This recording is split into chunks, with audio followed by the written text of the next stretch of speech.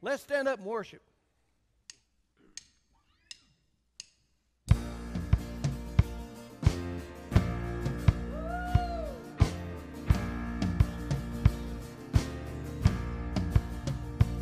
Our God reigns over all the earth, and He reigns over all the heavens. He made the firmament to exalt His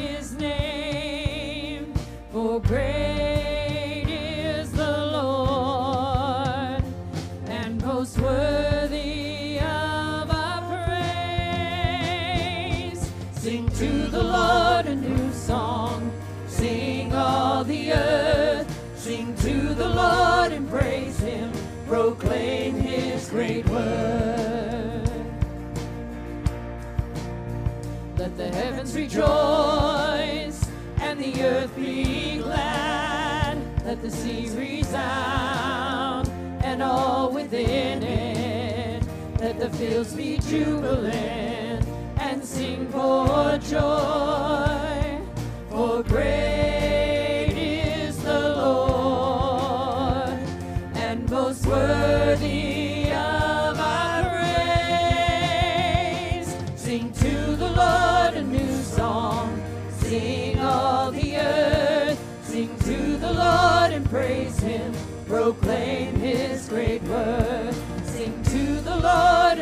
Song. Sing all the earth. Sing to the Lord and praise Him. Proclaim His great word.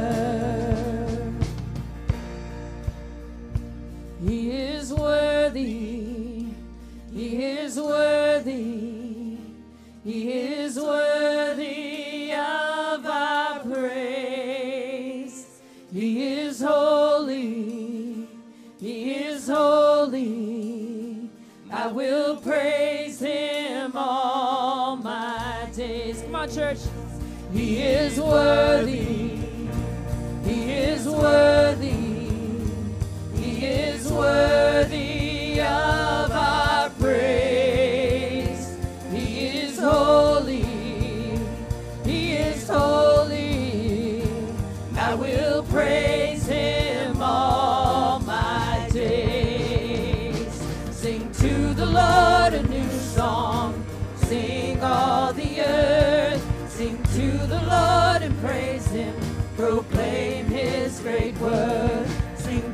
Lord a new song. Sing all the earth. Sing to the Lord and praise him. Proclaim his great word. He is worthy. He is worthy.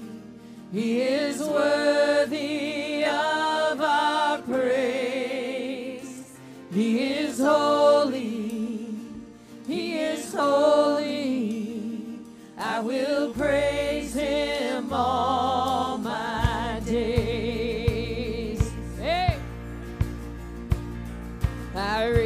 hallelujah in the presence of my enemies. Yeah. I raise a hallelujah louder than the unbelief. I raise a hallelujah.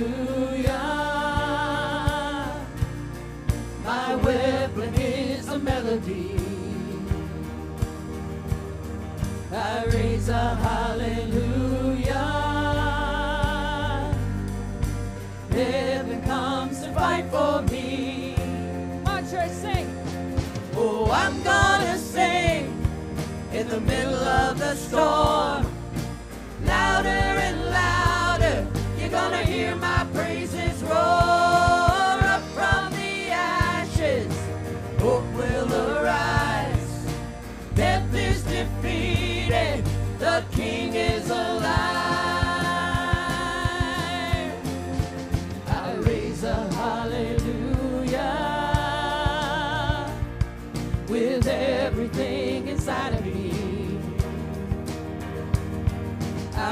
I a hallelujah. I will watch the darkness flee. I raise a hallelujah in the middle of the mystery. I raise a hallelujah. Here you lost your hold Oh, I'm gonna sing in the middle of the storm. Louder and louder, you're gonna hear my praises roar up from the ashes. Hope will arise. Death is defeated. The King is alive. Hey. All right, y'all. I missed you. You ready to sing? All right, here we go. Sing a little louder. Sing a little louder. Sing a little louder. Sing a little louder. Sing a little louder. Sing a little louder. Sing a little louder. Sing a little louder. Sing a little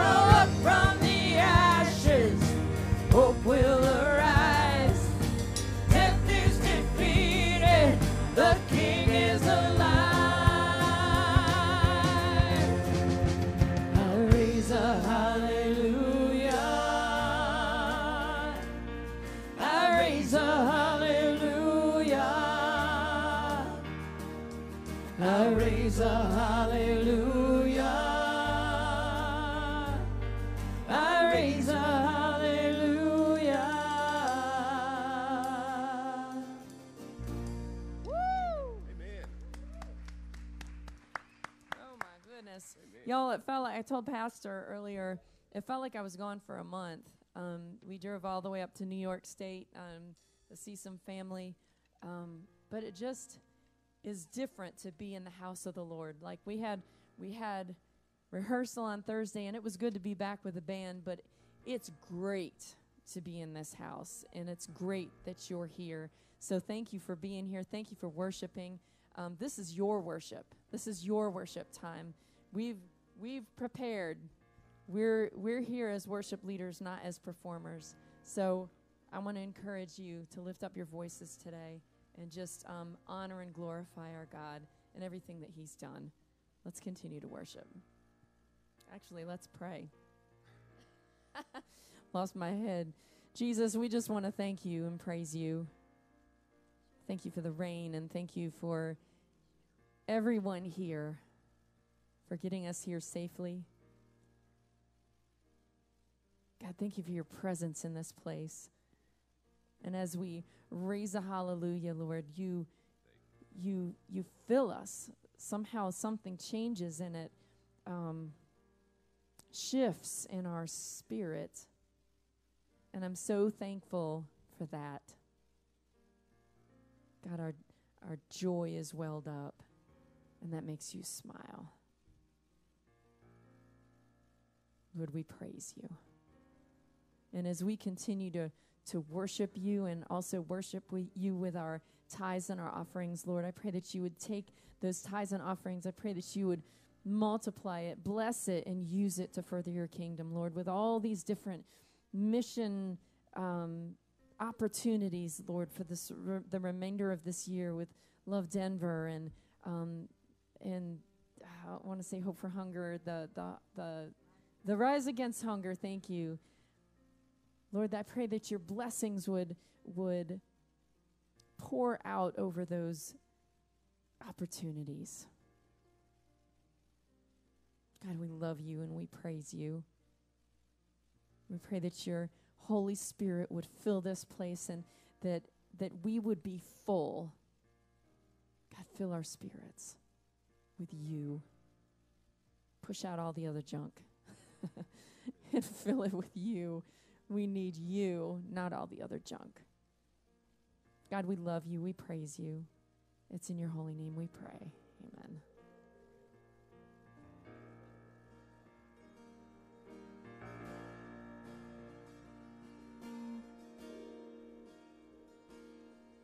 As the Spirit was moving over the water, Spirit, come move over us.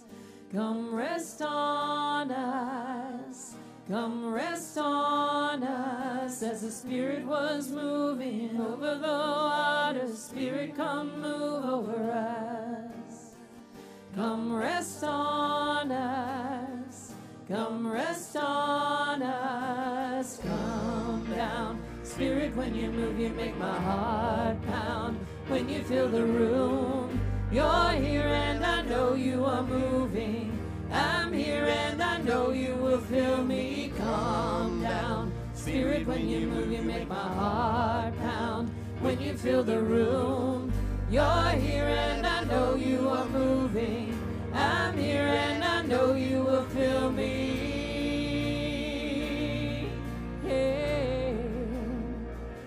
Send your fire down. Send your fire down. Yeah. Fire and wind, come and do it again. Open up the gates, let heaven on in. Come rest on us. Come rest on us. Fire and wind, come and do it again. Open up the gates, let heaven on in. Come rest on us. Come rest us. Come down. Spirit, when you move, you make my heart pound. When you fill the room, you're here and I know you are moving. I'm here and I know you will fill me. Come down. Spirit, when you move, you make my heart pound. When you fill the room, you're here and I know you are moving. I'm here and I know you will fill me.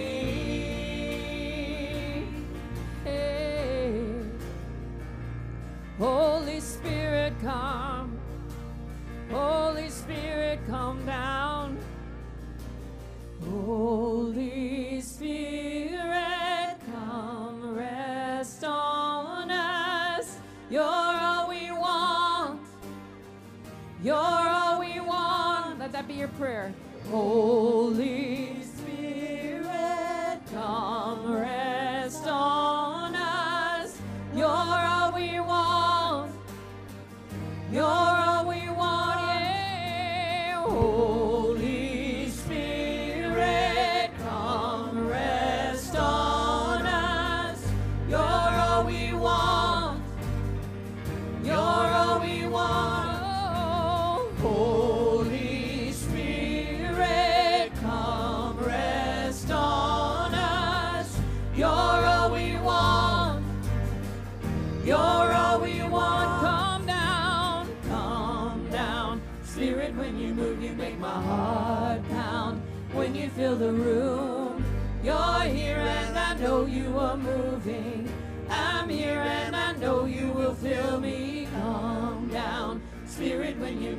make my heart pound when you fill the room.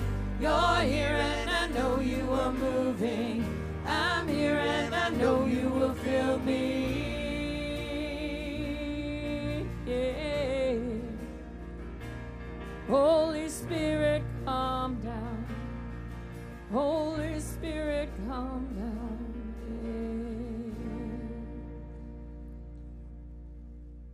Spirit, we just want to thank you. Thank you for your presence here tonight, today. Lord, have your way. You are God and we are not. I want to lift up our pastor as he comes and shares your word. God, you have spoken to him and prepared his heart, Lord. I pray that you would speak through him and use him for your glory. And God, prick us where we need to be pricked. Your will isn't for us to just be idle or to be stagnant. We need to be growing in you. And I pray, Lord, that you would give us just a little nugget to walk out with and chew on and change in our lives to walk a little closer with you. God, if we just walk a little closer every day, what a difference that will make in everybody's life. Everybody we touch, not only our own lives. Lord, we love you. We praise you. Again, have your way. It's in your holy name we pray. Amen. You may be seated. Well, good morning, church. Whether you're here in person or whether you're joining us online, we want to welcome you as we celebrate and, and worship with God today. Good to see all of you today. So, who is my neighbor? Who is my neighbor? That's what we're going to talk about today. Who is my neighbor? You know, this past Monday we, we celebrated Independence Day, July the 4th, and, and uh, I, I enjoyed scrolling through Facebook and, and all those posts that all of you posted, you know, the parades, the fireworks, and, and all the gatherings, and some of them were gatherings of neighbors gathering together to celebrate uh, together, uh, laughing and, and, and enjoying each other's company and, and I thought that was wonderful. And, and, and I expect that for, for most of us, if, if, if, our neighbor, if our neighbor was in need, you know, we'd respond, wouldn't we? If our neighbor said, I, I need your help, that we, we would say, Yes, neighbor, I'm here for you. I'll help you, you know? I'm helping you. I mean, after all, it's our neighbor, right? Well, this morning, this morning, what we're going to look at this morning is we're going to take a look at um, a challenge that Jesus puts before us. Okay? Jesus puts a challenge before us, and, and that is to take a look at just exactly who our neighbor is. Who our neighbor is. You ever really thought about it? Who our neighbor is? Now, folks, in the world that we live in, uh, you know, it's becoming increasingly harder and harder and, and even more difficult to reach out to our neighbor. Now, we might know the person that lives on this side of us or that side of us or maybe in front of us or behind us, but when we get beyond that little circle, sometimes it's hard to, to reach out to, to see who our neighbor is.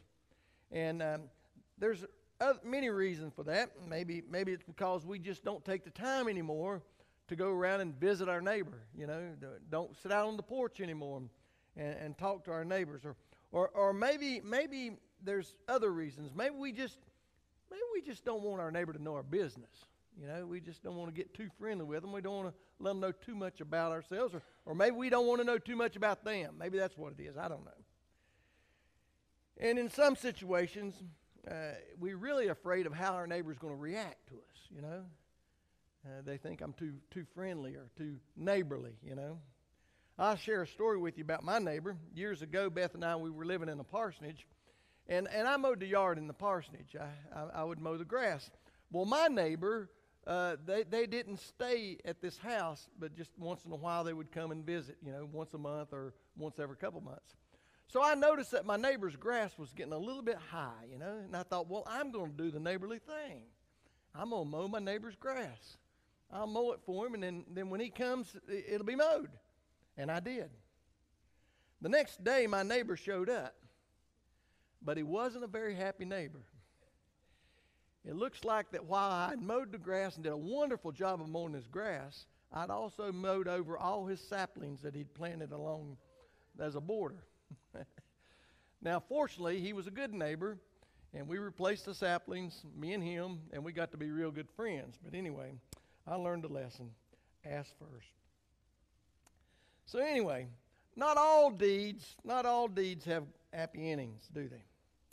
Well, this morning Jesus shares a story with us that stretches our limits. Stretches our limits when it comes to our neighbor. And the story is found in the Gospel of Luke. It's a story that you're all probably familiar with. Luke chapter 10, verses uh, 25 through 37. You probably heard the story hundreds of times. It's, it's called the Good Samaritan. Yeah. But what I'm asking you to do this morning is let, let, let stop thinking about the story. You know, how many times have you read the story? You probably could quote some of the passages in that story. But put that out of your mind. Let God speak to you. Let God speak to you through this story, okay? So we're going to talk about that this morning. Uh, it begins like this it says, Just then a lawyer stood up to test Jesus. Now let that soak in a little bit. Now, folks, I think there's not a one of us here among us that can honestly say that you've never tested Jesus, never questioned Jesus. So we all are standing in the sandals of this lawyer. We've done it at one time or another. We put Jesus to the test. But here's what this lawyer says He says, Teacher, what must I do to inherit eternal life? Okay? We're going to we're gonna walk with Jesus and the disciples for the next few months and, and listen to some of Jesus' teachings and stories and see how they impact our lives. But what you're going to find out that as he goes through this time, Jesus is constantly, constantly being tested. He is constantly being questioned. He is constantly, his teachings are being challenged. And it continues today. Now, what I want you to see, throw that screen back up there if you can for just a minute. Here's what I want you to see about this first passage of Scripture. Look what it says. Look what it says about the lawyer. Do you see that? What does he ask Jesus? What must I do to inherit eternal life? You see, everything is surrounded by this lawyer. I. What must I do? That's his only interest is what's in it for me. How can I? I don't, I don't care about you. I don't care about you. But what about me? Okay? Now, Jesus responds to this question, and he asks the question himself. He says, What's written in the law? What's written in the law? Now, now what Jesus is, he's referring to a passage of Scripture here that this man knows. The, the passage is found in Leviticus, Leviticus 19:18. Okay, that's the book of the law. And here's what it says it says, You shall not take vengeance or bear a grudge against any of your people, but you shall love your neighbor as yourself. I am the Lord. Now, folks, in the Old Testament readings, where the scripture ends and says, I am the Lord, or thus says the Lord, that means that the Lord is speaking it. This is the way it is. Okay? I am the Lord. This passage, the, the lawyer would have known this passage. He's a lawyer. He's a scholared man. He knows the scriptures. He would have learned this. He may have even probably was tested by one of the rabbis to quote this passage of scripture. So he knew it. And he responds. So Jesus responds to him and says this, "What do you read there?" Now what's Jesus asking him? Jesus has asked him to explain. How do you see this passage? How do you interpret it? What does it mean to you? Not just the words, but how do you, you, you see it and understand it? I want to know so that there's no misunderstanding. So tell me in your own words. And the man, of course, being educated and a lawyer, okay, but well versed, I could see him, he just kind of swelled out his chest, you know. Well, Jesus, here's what it means to me. And he answered him. And he says, You shall love the Lord your God with all your heart, with all your soul, all your strength, all your mind, and your neighbors yourself. See, he knew that passage of Scripture. He didn't have to look it up, he didn't have to Google it. He knew it. Now, the first part of this, this, this scripture, it's obvious, right? You want eternal life? Uh, you you got to love God, right? They knew that. The only way to inherit eternal life is to love God. Do you know that there's people who, who, who, who do not claim to be Christian and, and, and that love God? That they say, "Oh, I love God," and there's people that that that don't profess to God as their Lord. That in their time of need, who are they going to call on? Well, a lot of times they call on God. They call on God.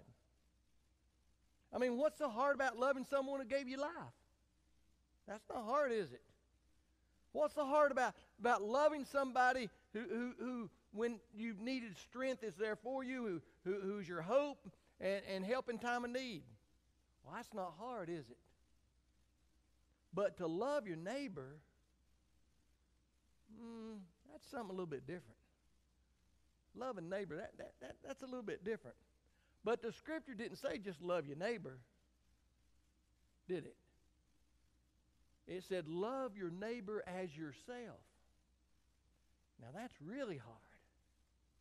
And here's what Jesus replies. He said to him, He said, Well, you've given the right answer. Do this and you'll live.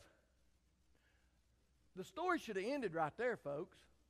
Right? I mean, Jesus laid it out there. There it is. You know the answer.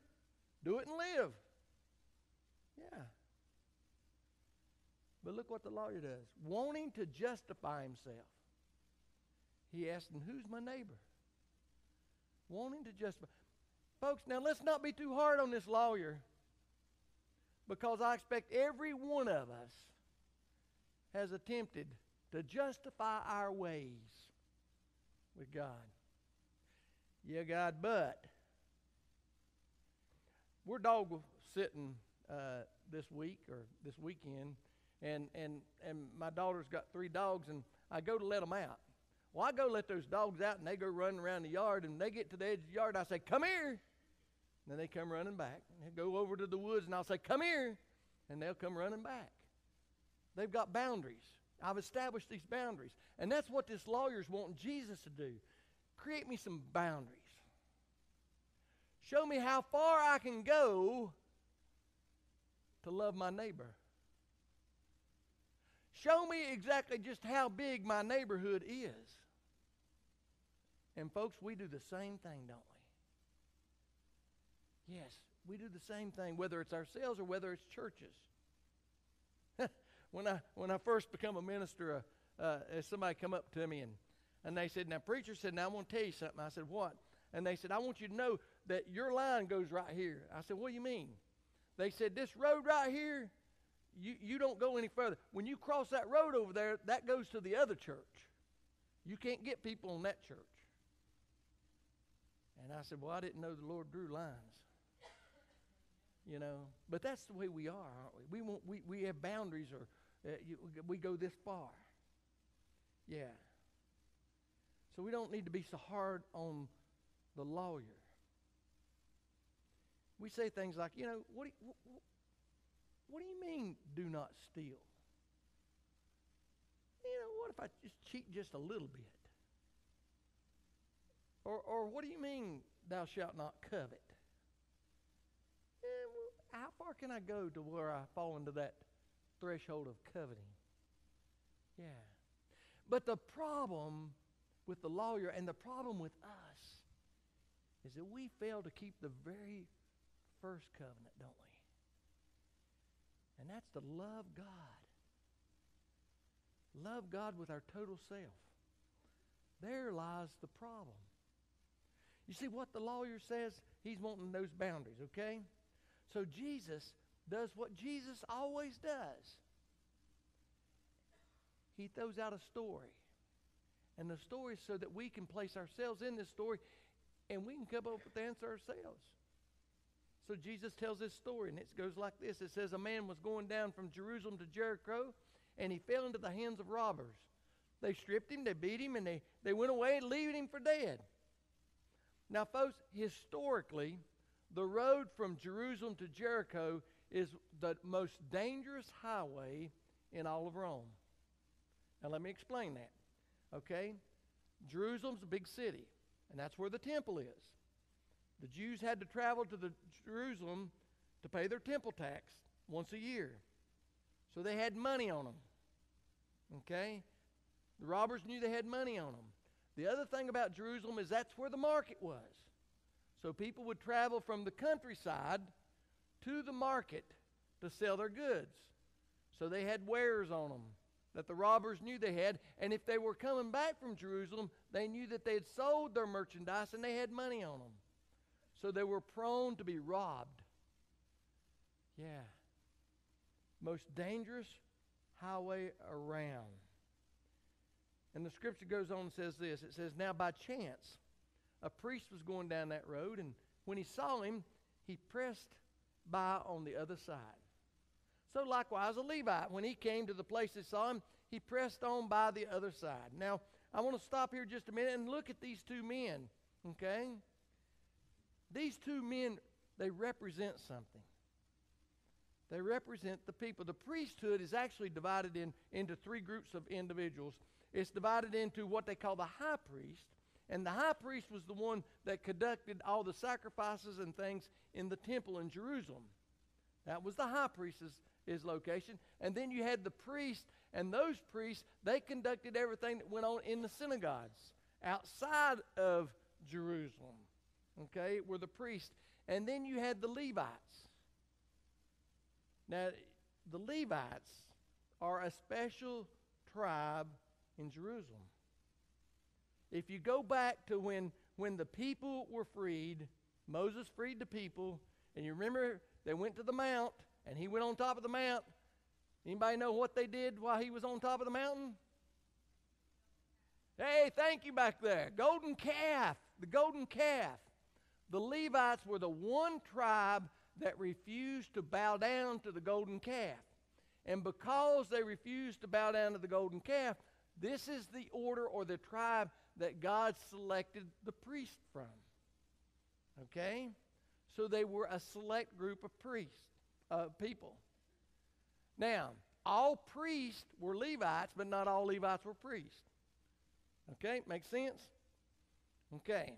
So, here's the deal. Maybe they had something important to do. They had to go to the temple and make sacrifices. They didn't have time for this man. They had to carry up God's business. Okay? They were in charge of higher things. Maybe they had to go to the synagogue. They had things to do. And, and if they messed with this man who was laying there bleeding and dying, then they would become unclean. And if they were unclean, then they couldn't carry out their religious commitment. So they crossed over to the other side. And this Levite, well, I don't know, he was special. You know, they were a special group of people. But they were special, but not who they were, but how God used them. But they were expected to separate themselves from the others, from, you know, the common folk. I mean, after all, he brought it on himself, didn't he? He had money on him. He had something that was worth robbing. He got what he deserved, right? But let's go on. The scripture says a Samaritan, while traveling near him, and when he saw him, he was moved with pity. And the scripture says that he went to him, he bandaged his wounds, and having poured oil and wine on them, then he put him on his own animal, and he brought him to an end, and he took care of him. Now, Jesus uses a Samaritan because, in the eyes of the Jews, in the eyes of this lawyer, the Samaritans were pagans. Okay? They didn't worship the true God, they were seen as pagans. So, the first thing I see in this story about this Samaritan is that he comes near. You catch that in the passage of Scripture? It says that when he came near him, that means he had to move to him. He didn't see him from just the other side of the street. He saw someone there and he goes near him. Now, what does that tell us? Folks, if you want to know who your neighbor is, you got to get out of that door. You got to go to the other side of the street. You got to get near your neighbor. You got to get outside your comfort zone. It's easy to sit in our little neighborhood and say, All is well in the world. Life is good. Until we really get near our neighbor and see the need. Not only does he see the need, but the scripture says that he has pity. He took pity. What does that mean? Well, that means he didn't just say, Well, I'm going to pray for you, brother. I'm going to pray for you. Here you go. I give you a few bucks. I hope you get along good now. No, he puts himself in this man's place. That's what it means to have pity on somebody. You put yourself in their situation. You begin to understand their struggle. You realize that if I don't do something here, this man's going to die.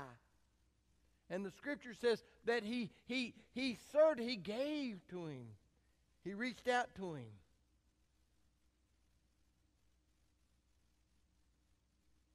From the other side of the street, it's easy to ignore that problem. It's easy to ignore the pain and suffering. It's easy to say, well, when did we see you hungry? Or when did we see you naked? Or when did we see you thirsty?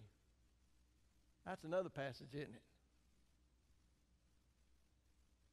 It's easy to avoid it from afar, but when you get up close, when you get near,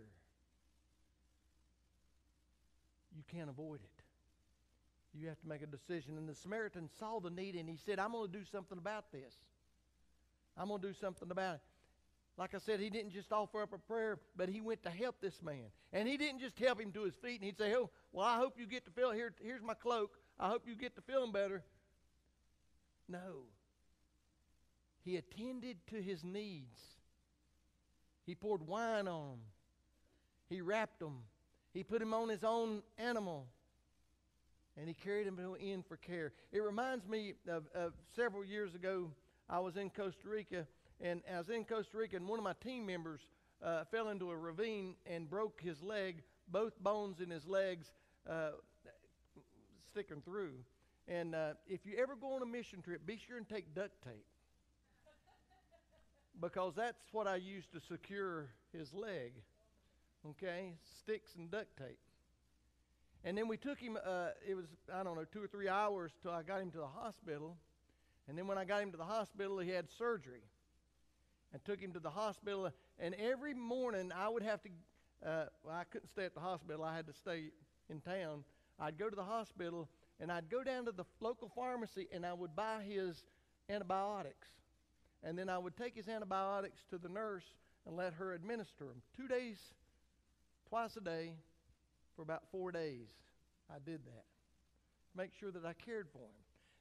That vision, that reminds me, that's of how this man cared for this, this, this guy that was in the ditch, how he cared for him. But what made me think about this, I knew this man. This was a friend of mine that I cared for. What if it was somebody I didn't know? Could I do that? Would I be willing to give the same care to that person as I would my friend? Imagine if it were someone you found lying in a ditch. The scripture says the next day he took out two denarii and he gave them to the innkeeper and said, Take care of him. When I come back, I'll repay you for whatever you spend. Now we read that and we think, Oh, big deal. Throw a few coins in his pocket. But a denarii is a day's wage. A day's wage. Now, a day's wage at the time of Jesus was from sunup to sundown. Okay? That's a long day sun up to sundown.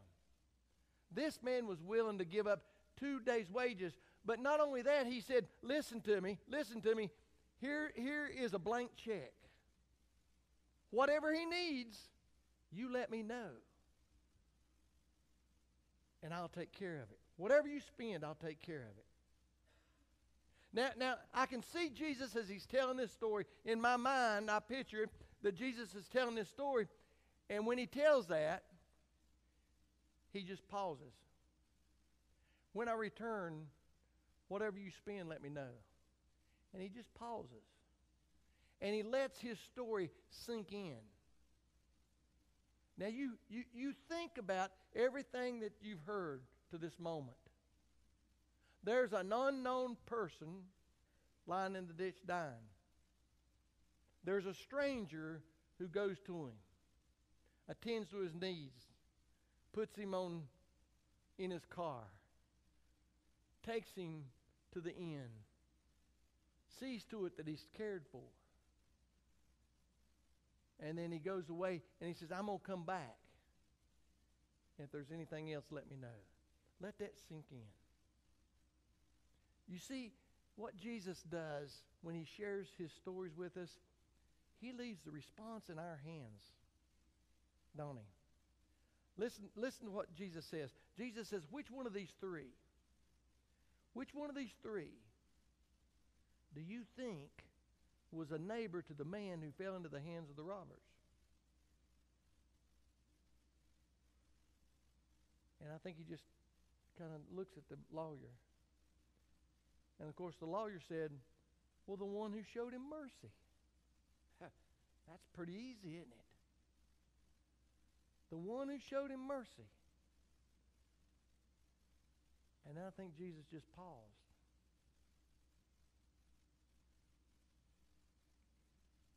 We'll go and do likewise. And he just tells him, Go and do likewise.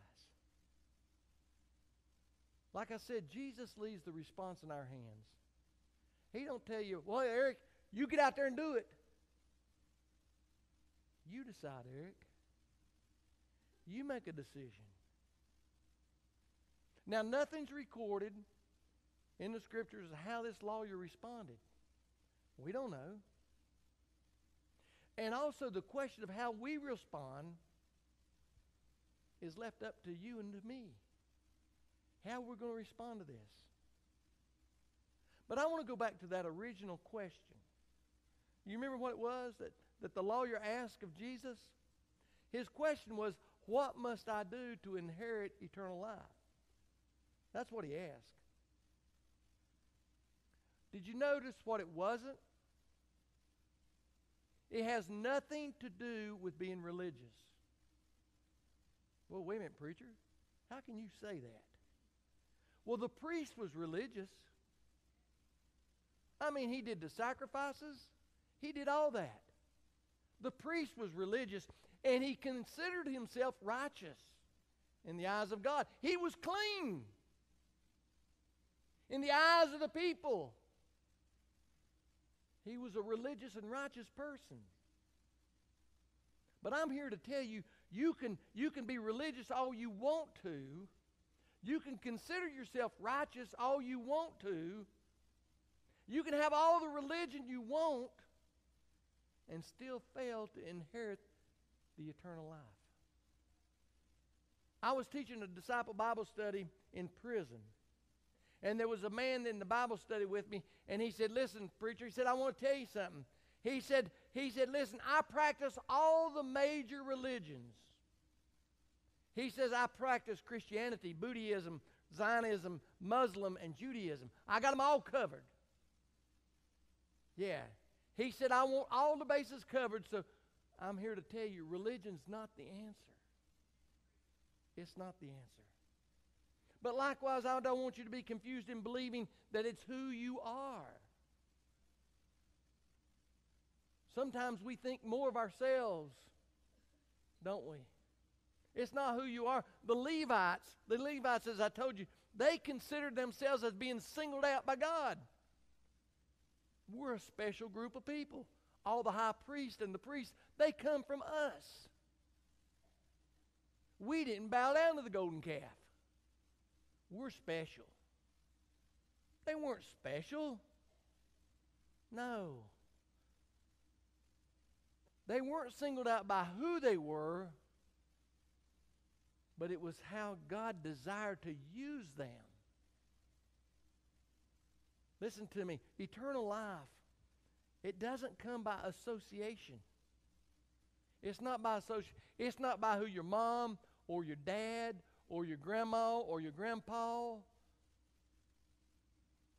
who they are. That's not what it's about. They might have been fine pillars of the church. They might have been very dedicated people of the church. But that doesn't guarantee you what you're looking for. It's not about how many committees you sit on. It's not how much you do in the church. It's not even about how much you contribute to the church. You know, you see, listen, Jesus says, I want to make it very clear. And here's what he says Not everyone who says to me, Lord, Lord, will enter the kingdom of heaven, but only one who does the will of my Father in heaven. Now, look here. He says that on that day, many will say to me, Many. Did they not hear what he said? You remember what I said about testing Jesus? On that day, many will say to me, Lord, Lord, did we not prophesy in your name? Did we not cast out demons in your name? Did we not do many deeds of power in your name? But he says, Then I'll declare to them, I never knew you. I never knew you. Go away from me, you evildoers. What are you talking about? It's all about doing the Father's will. That's what it's about.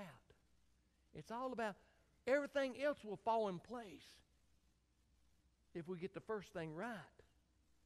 You see, when Jesus asked the lawyer, he said, Man, he said, what is it? He says, Here's what it is. He said, You got to love the Lord your God with all your heart, with all your soul, and with all your strength, and with all your mind. And your neighbor is yourself. There it is. If you look at the story, that Samaritan, he saw a man in need. He saw himself in that ditch. And he said, If I was in that ditch, I would want somebody to help me. If I was bleeding, I would want somebody to pour wine on my wounds. If I was struggling, I would want somebody to manage. I would want somebody to take care of me. I would want somebody to love on me. That's what he saw. And in his mind, it didn't matter the cost, it didn't matter the consequences.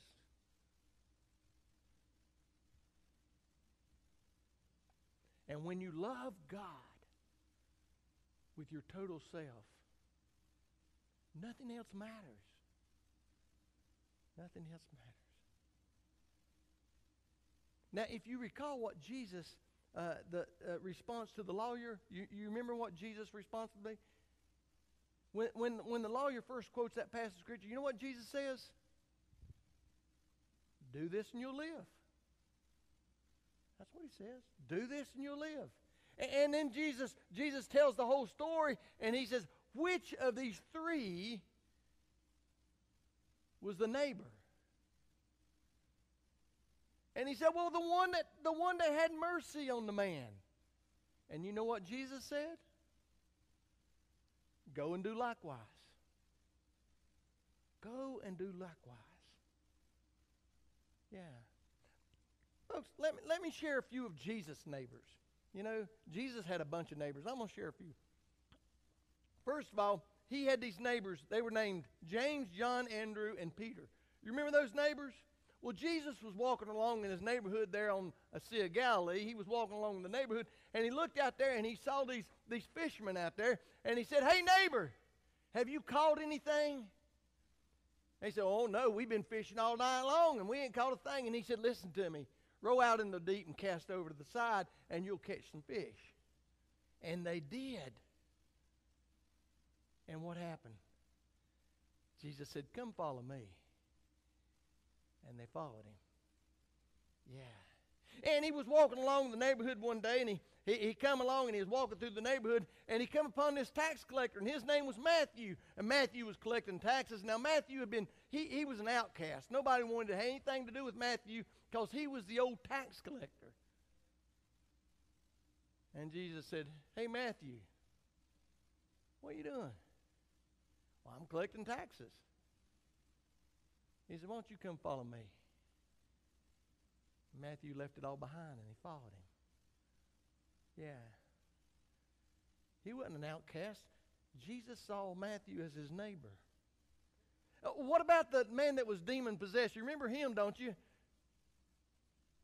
Legions. He said, Hey, neighbor, what's wrong? He said, I'm possessed with all these demons. And, and Jesus said, Well, listen, you demons, leave him alone.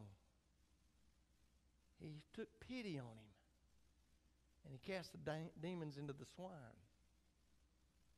And the man was healed.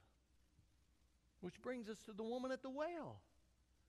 He is just in the neighborhood, sitting there in the well, waiting for a drink of water. Woman comes along. She gives him a cup of water. And Jesus said, Well, listen, why don't you go call your, your husband? She said, oh, I don't have a husband. I've had five husbands.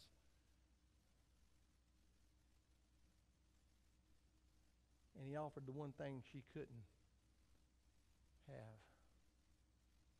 Yeah. Told her everything, but he didn't reject her, did he? That was his neighbor. How about the woman in the act of adultery? He's just in the neighborhood and they come dragging this woman up before him and said, Look here, we've caught her in the act of adultery. Let's stone her to death. Jesus put himself into that woman's place, didn't he? Yeah. Do you see what I'm trying to tell you? The truth is that in the eyes of Jesus, everyone was his neighbor. In fact, Jesus gave his life for the neighborhood. Yeah. And the words of Jesus, the words are, For God so loved the world that, that he gave his only Son, that whoever believeth in him, in the name of Jesus, will not perish, but have eternal life. Yeah. He's just in the neighborhood, and he gave us life. To be able to love God fully and completely. Folks, that's a hard thing to do. Now, there's some people that really, I'll be honest with you, there's some people that says, boom, I'm giving it all to God, and they surrender completely and fully, and, and God just takes them all in. But there's other people like me that we're like an onion. Yeah. And, and, and we have to be peeled. Yeah, those layers have to come down. And it takes time. It takes time. But I serve a patient God. And God says, if, you, if you'll commit to me, I'll peel those layers away.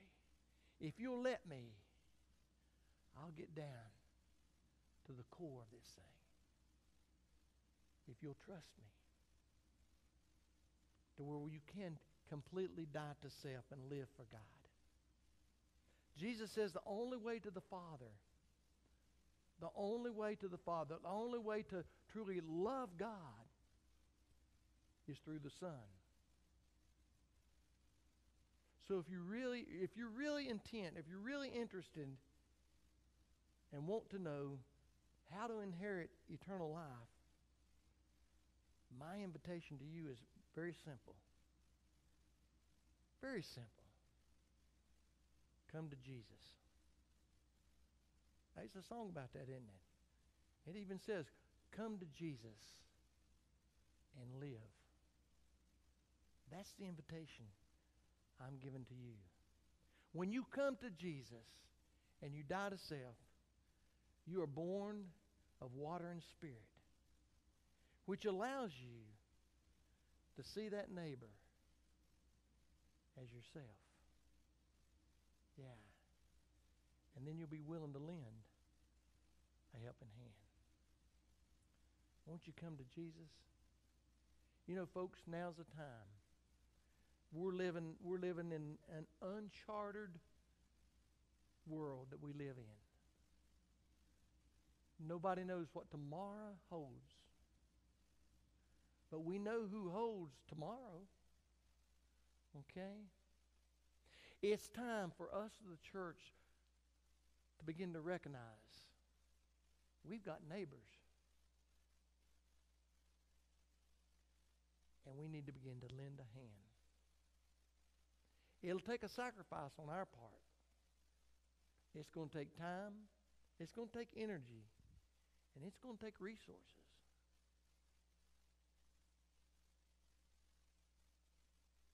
But I promise you that God will bless us in many ways if we will honor Him and love our neighbor as ourselves. Let's pray. Gracious God, Lord, we've been blind too long. We've walked around here like horses with blinders on. We've been deaf, Lord. We've refused to hear the cry of those around us for help. Lord, we, we, we, we, we've come into our own little world, created our own little universe. Lord, we can't say any longer that, that you showed us that there's another way. And that's your way. Lord, open our eyes, open our ears, open our hearts. Lord, free us from this self absorbed person that we are to become richer and fuller, to be godlike in every way. We thank you, Lord, for being our God. And we thank you for all you do. And we pray this in the name of Christ. Amen. Let's stand and one of the things that we did uh, neglect this morning was that our Love Denver Change for Change collection is this afternoon, um, right after service. So as you're heading out the door, you'll have ladies there with buckets.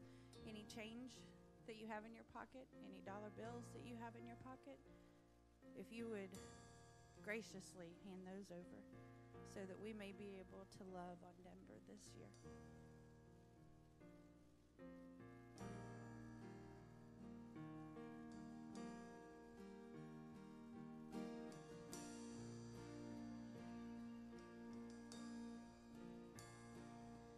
Take all I have in these hands and multiply, God, all that I am and find my heart on the altar again. Set me on fire, set me on fire.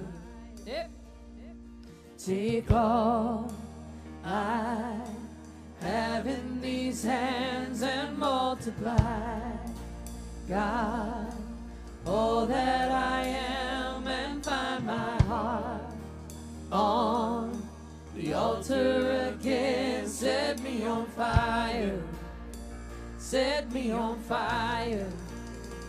Here I am, God, arms wide